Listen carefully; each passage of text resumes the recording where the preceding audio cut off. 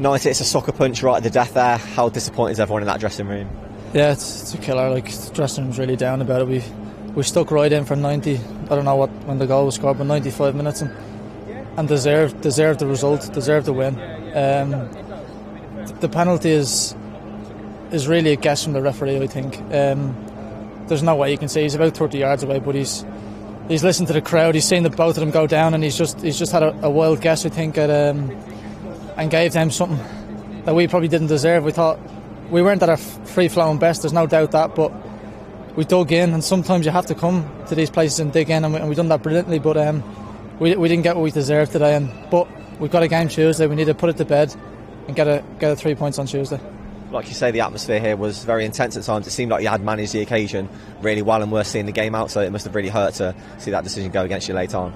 Yeah, look, every lad in there gave us gave his job lot, so um, nothing to be ashamed of. But we needed we needed a good three points today, and, and we haven't got that, so we're really disappointed. But like I say, we've got a couple of days to sort of mull it over and go again uh, and at Exeter away. Yeah, it's another long trip on Tuesday night, so it's a lot of miles, not too much time on the training field, unfortunately, but it's a good chance to put things right again, isn't it? Yeah, exactly. Look, this league's relentless, so you've always got the next game, and, and that's all we can focus on now. I know games are ticking down, so we need to we need to get the results as, as recent as possible. So we just we need to go in full of confidence and go and get three points.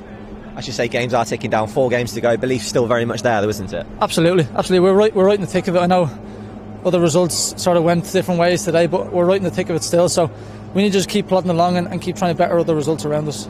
I should mention results today It's a uh, win for Bolton, but a defeat for Peterborough, draw for ourselves. So it means really it's as you were, essentially, isn't it? So everything stays the same in terms of mentality and mindset. Everything stays the same. It's it's, it's one game less though, so we can't uh, we can't keep relying on other teams. So we need to do it ourselves, really. Um, three points today would have been would have been massive for us, but we didn't get it. We got a draw. We take it and we, we move on to Tuesday.